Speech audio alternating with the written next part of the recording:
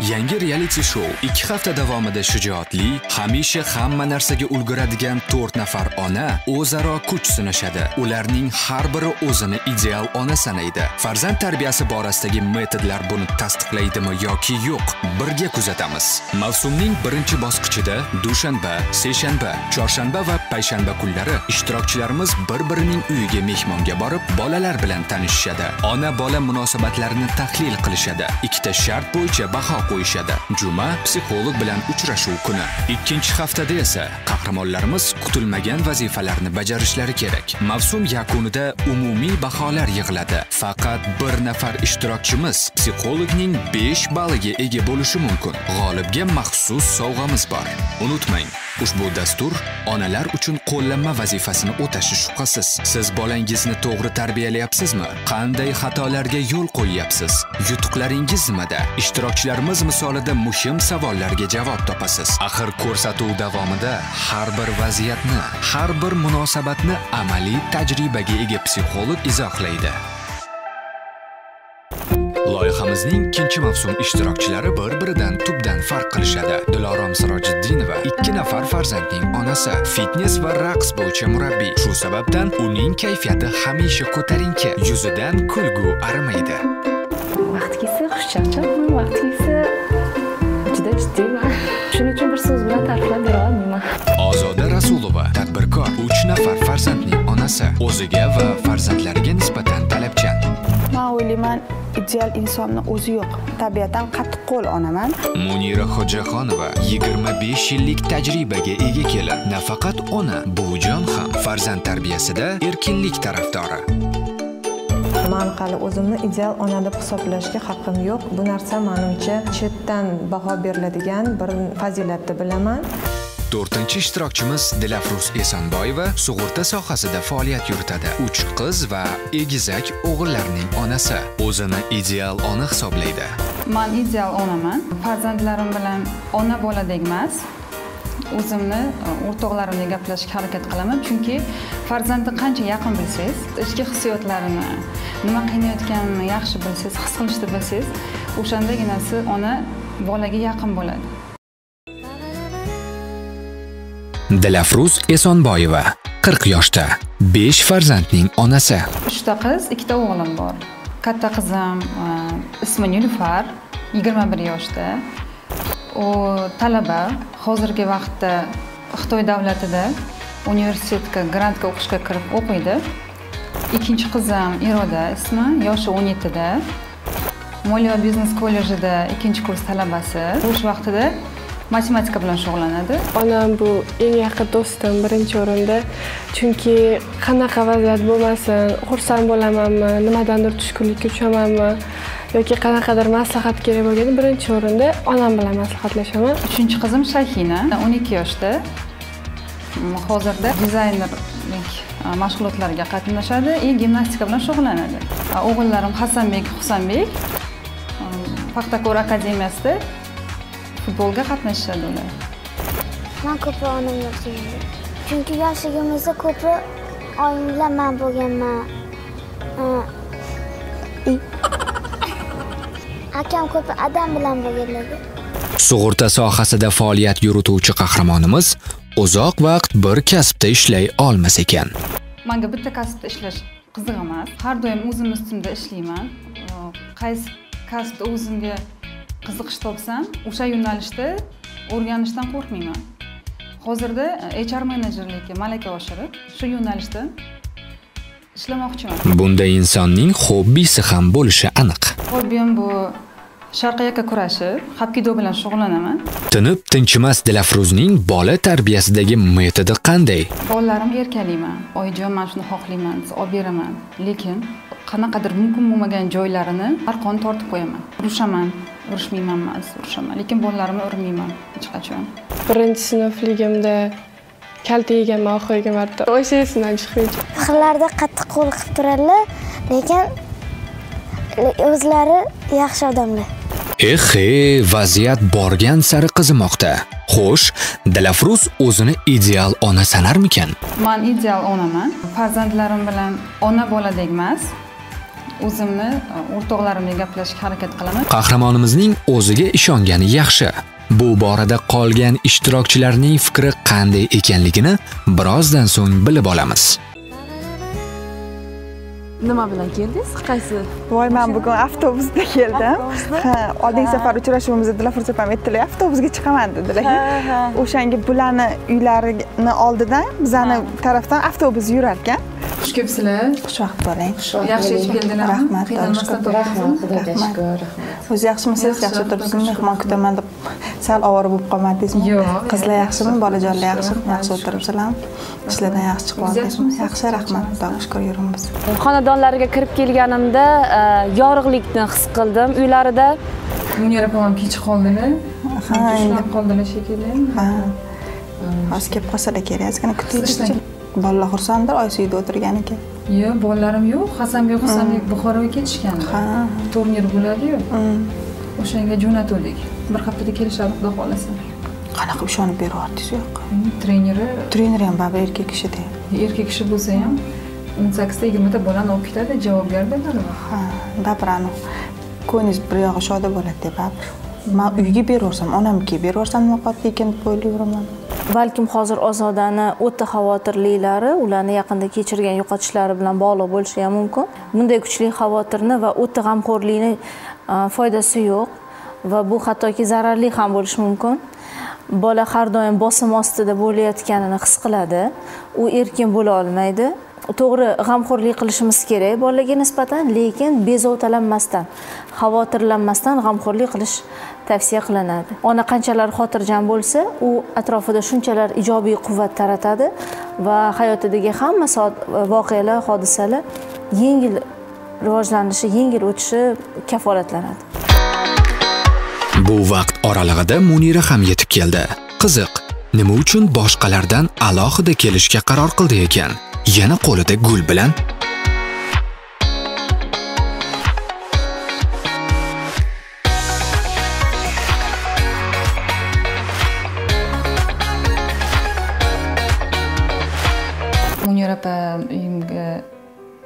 gul bilan kelganlarida qo'llarida podarka bilan. Man o'zim judayam noqulay his qildim. Bilasizmi qaynonalik kelinman deganlarida ko'rinib turibdi. Birga turishlari birga yordam berishlari.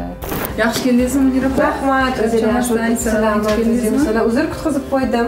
Yo'q hech qisi yo'q. qoldim. Siz yaxshimisiz Rahmat? Xushkur, rahmat, Yaxshimisiz? rahmat. Yaxshi keldingizmi munira opa adashmasdan yaxshi yetib keldingizmi? Rahmat rahmat. Iroda assalomu alaykum va alaykum assalom keling qizim choy olib kelgin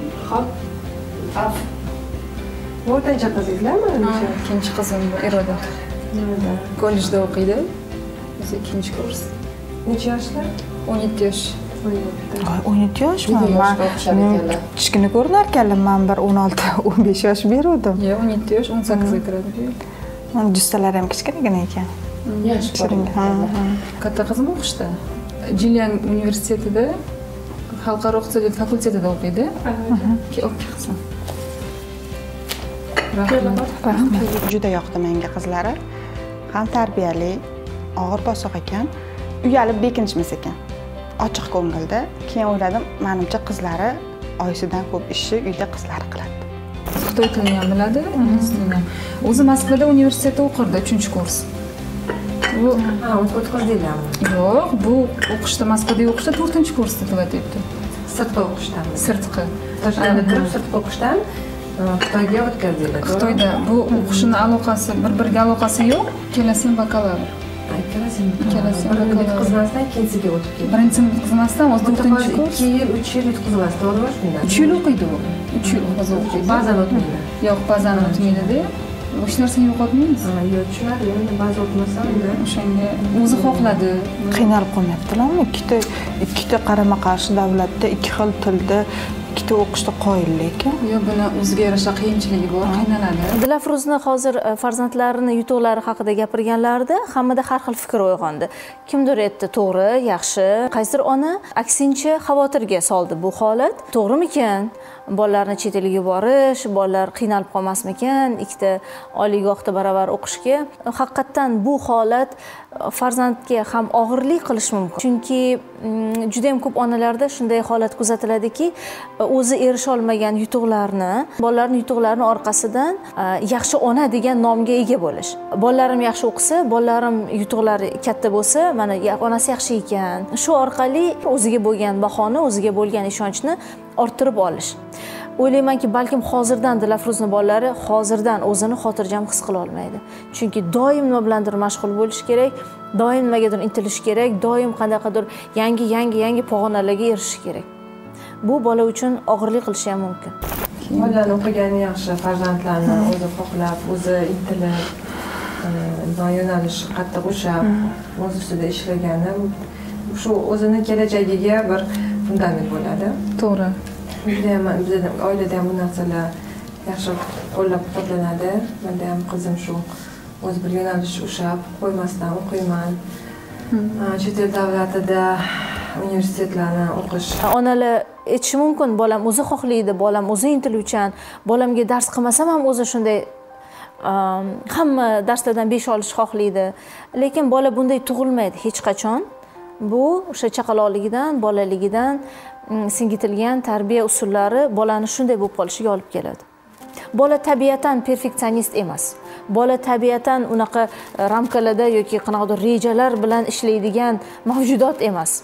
Bu ota ona tomonidan bolaga yaxshilab quyib singdiriladi albatta ota ona yaxshi bo'lsin deb o'ylaydi. Yaxshi yaxshilik uchun qilyapman deb o'ylaydi. Lekin keyinchalik inson qiynalishi mumkin. Qizlaringizni bo'yi yetib qolgan ekan. Katta qiz necha yoshda?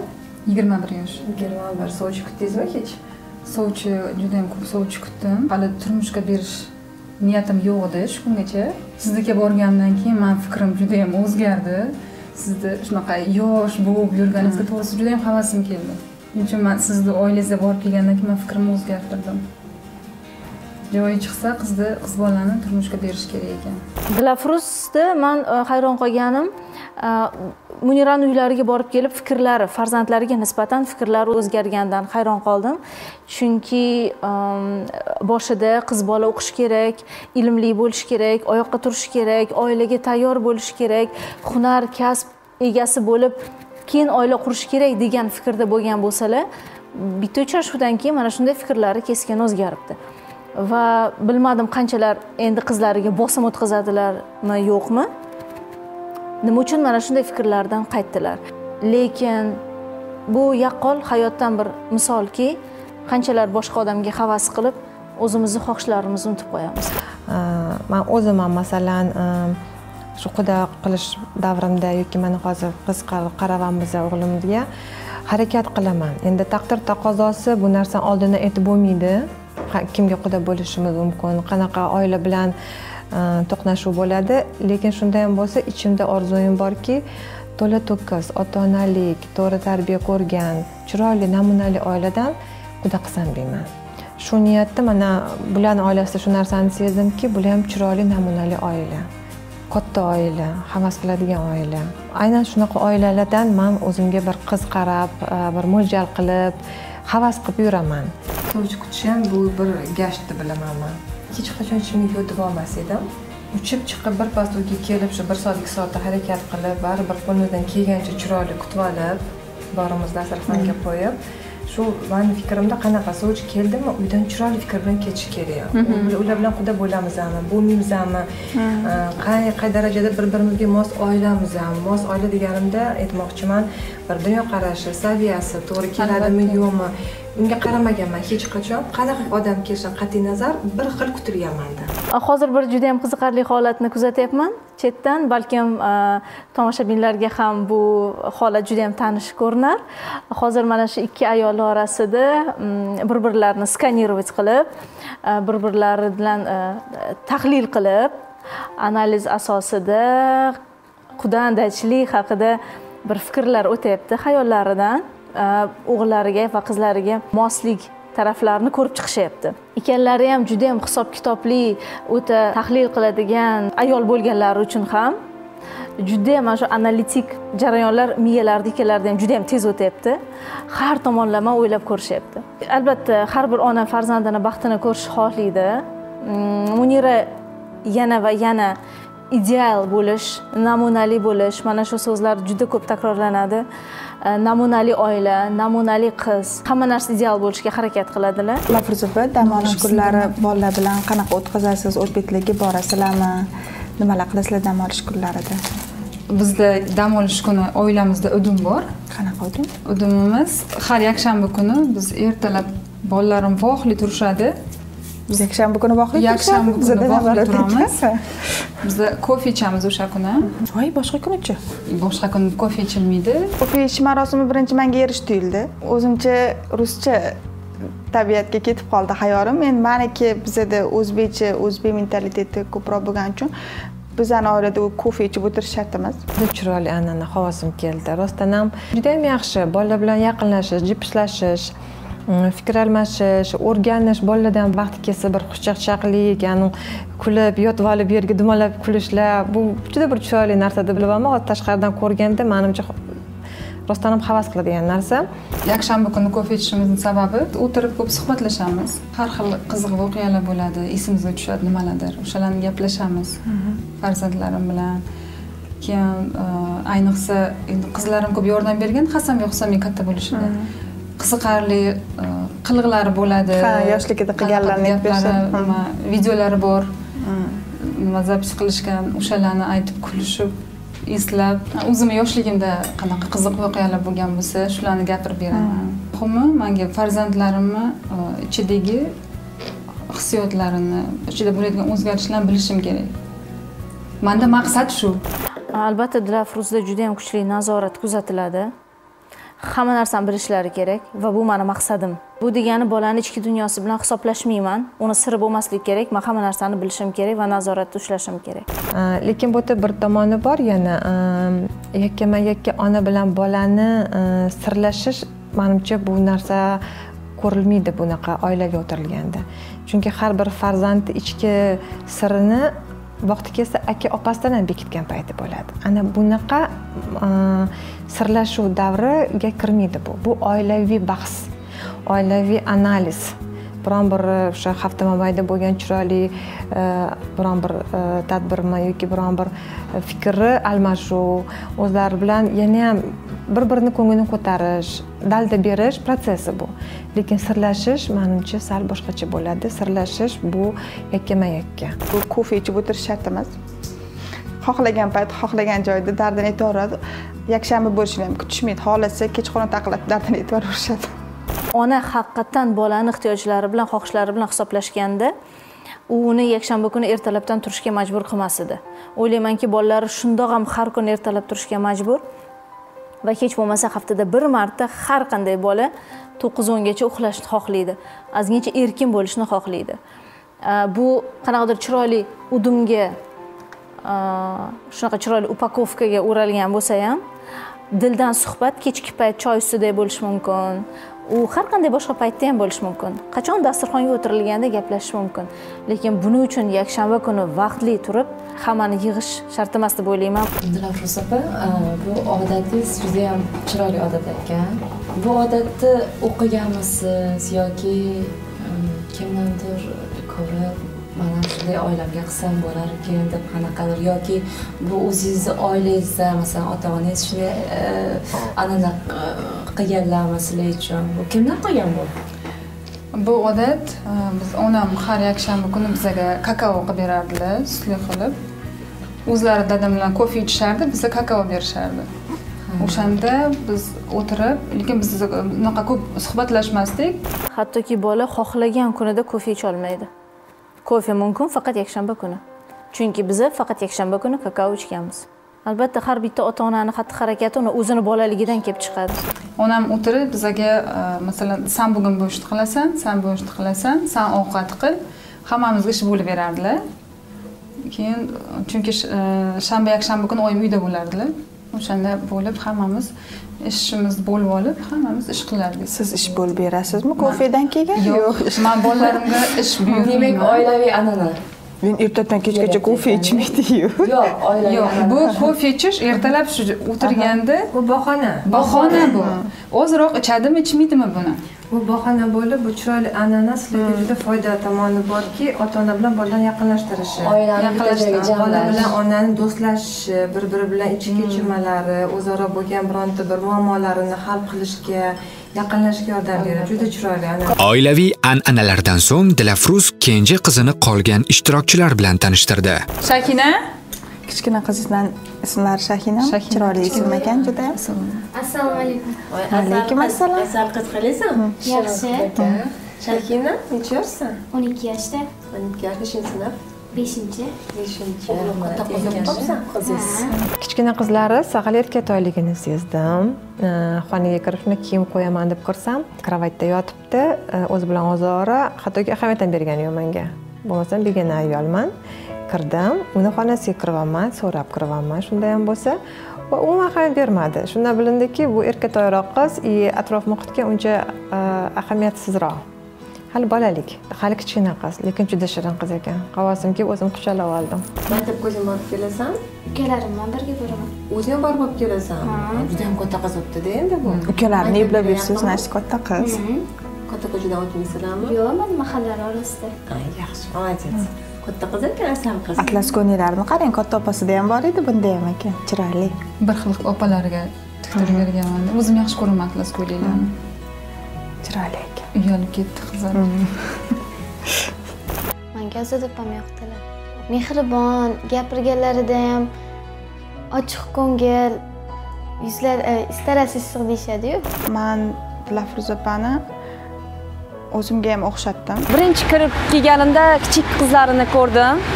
Uyatchang kichik bo'lishiga qaramay yaxshi taassurotim katta qizlari bilan keyin yana ko'rishdim. Katta qizlari xuddi birinchi emas doim ko'rib yurgan e, odamidek e, tabassum bilan qarshi oldi. Diloram juda anaqa o'tiribdilar.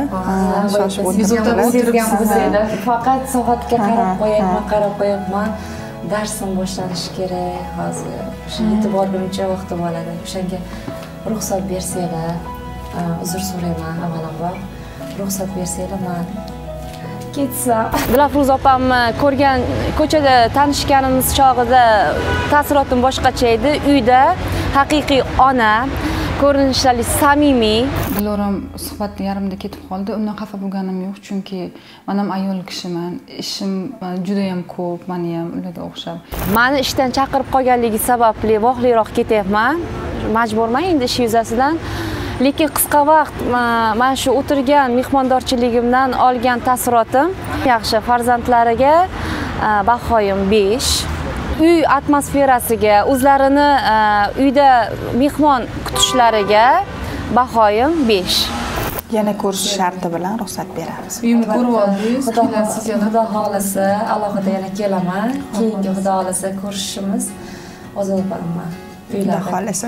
unda bemalol bo'lib keling ko'rishamiz. Rahmat. Sog' yaxshi bo'ling yetib oling Hop. yaxshi yetib oling yaxshi yetib oling. Kuzatib keldi. Keling shoshib endi ishlayapti baribir bezovtaga o'tiribdilar o'zi ko'rinib turibdi qizlar bir narsani sezdim man kecha shuni aytgim kelmadi aytmasam ichimda qolib ketardi bir narsaga juda g'ashim keldi man ideal onaman deb gapirib olmasada bu yerda o'zi bundoq qaraganda bizaga birov chetdan baho berishi kerak biza bu yerga taklif qilindikki proyektda ishtirok etib bizani keyin tanlashadi qaysi birimizni kimdir yaxshiroq yoki balandroq ball olishiga qarab bironta o'rin beriladi tanlanadi to'g'rimi a biza hozir bu yerda o'zimiz haqimizda man idealman man onalikni qoyillatdim man ideal onaman deb o'zimiz haqimizda jar solyapmiz manimcha bu sal xunukroq chiqyapti man shu narsani bu shunaqa jar solinadigan ko'rsatuvdir balkim yo'q mani fikrim unaqa emas man islom fikringlarga qo'shilmayman chunki ideal onaman deganda bu loyihani e, mohiyati mani tushunishim bo'yicha. Bu e, aynan o'sha har onalarga o'xshamaydigan qaysidir qirralaringizni ko'rsatish maqsadida manimcha bu loyihani ishlab chiqarishgan. Endi mana bunaqada shu qirrasini ko'rsatolmayotgan bizadan ham a'lo darajadagi onalar ko'pda. Ular ham man ideal onaman deb ko'ksiga urmayaptida. Siz hozir ko'ksingiz ko'rib chiqmayapsiz ozoda siz hozir mana biz to'rtalamiz biz bir birimizga yaqin tanishyapmiz. Kimdandir bir birimizdan nimadir o'rganyapmiz. To'g'ri To'g'rimi? fikrlashingiz to'g'ri. Lekin shunda bizani chetdan bizga baho berilishi kerak. Kim idealligi tushunyapsizmi baribir chetdan beriladi. Orada ozgincha bahs guvohi bo'ldik. Ya'ni e, qarang insonlar qanaqaligi suhbat davomida bahsda bilinadi deyiladi. Xuddi shunday e, yana va yana dilafruzni dunyoqarashlari birinchi bo'lish lider bo'lish buni ochiq oydin ayta olinglar munira buni har doim qog'ozga o'raydilar. Munirani ham aytganlari bo'lishi kerak lekin judayam mm, yumshoq holatda. Bilasizmi bu man qo'shilmayman sizlarni fikrlaringga. Man o'zimni e, ideal onaman deb hisoblayman. Nimaga? Chunki e, farzandlarim uchun har doim ideal bo'lib qolaman. Lekin man o'zim ham shu narsani man ishonaman shu narsaga и bilaman ham man bolalarim uchun idealman. Dilafruzda har doim yaxshiroq bo'lish. Shuning uchun loyihadan ham ularni e, fikrlari shundayki yana nimadir o'rganaylik yana nimadir tushunaylik balki man yana nimadir bilishim kerakdir yana qayerdadir to'g'irlashim kerakdir. Sizdagi e, qaysidir idealligingizni boshqa onalarga ko'rsatish o'sha onalarga qarab intilib yashash bolaga beradigan tarbiyada qaysidir jihatlarini olish bu narsani man yomon tomoni yo'q deb hisoblayman. Mana shu yerida man munira opa bilan ozroq bahslashgan bo'lardim. Hali alohida albatta bu e, mavzuda gaplashaman hali munira opa bilan. Yana o'zim nima demoqchi bo'lganliklarini chuqurroq gaplashamiz. Fikrimiz sal bir biridan e, qochdi. Lekin bu manimcha e, loyiha uchun ham bir birimizdan o'rganish uchun ham bir qiziq jarayon deb o'ylayman. Oxirigacha bu mavzuda to'xtamga kelmadik. Bizani bahsimizda. Lekin shu e, pozitsiyalarni yo'qotmayaptilar. Fikrga qo'shilib e, bo'ladiku sharoit bir pog'ona pastga tushish ayollarda. Mana shu narsa yo'q ularda ular qaytanga shu narsani qarshiligini qilib yana ham bir anavi o'jarlik desa ham bo'ladi. Lekin o'jarlik so'zim oson emasku qat'iylik. Qat'iylik bor xarakterlarida. Bu hayotda kerak narsa muniraga albatta tashqi atrofdagi insonlarni bahosi muhim. Qanday baho berishadi? E, man haqimda nima o'ylashadi? Ikkita lider insonni ikkita yetakchi insonni mm, to'qnashuvi ozgincha g'ashliga sabab bo'ldi. Boshida bir biriga bo'lgan e, fikrlari o'sha boyagi analizlari уже bitta minus joyi ham paydo bo'ldi. Statuetka agar menga berilsa shuni agar olsam bilasizmi uni ko'rinarli joyga qo'yib qo'ygan bo'lardim. Har o'tganni qaraganingizda ideal onaman deb yozilgan bo'lsa bilasizmi u yanayam ideal bo'lishga harakat qilasiz. Man shunaqa tushunaman. Dilafruzda ham chiroyli o'tirdik ozmi ko'pmi o'rgandik bir birimizni chiroyli fayzli xonadoningiz bilan tanishdik bolalaringizni ko'rib juda ko'z quvondi Xush kelibsizlar. vaqtingizga ko'z tegmasin havasim keldi. Chiroyli. namunali chiroyli oila ekansizlar qizlaringiz baxtli bo'lsin farzandlaringiz doim ko'ngildek o'zingiz xohlagan inson bo'lib jamiyatga oilaga davlatimizga yetuk inson bo'lib yetishsin. Yetganingiz kelsin yaxshi kunlarda yana ko'rishaylik. Rahmat kelganinglar uchun xush kelibsizlar. Rahmat sizga xursand bo'ldim sizlarni ko'rganimdan nasib qilsa ertaga yana ko'rishamiz. Sizni xudo xohlasa. kutaman. Ho'p xush kelibsizlar.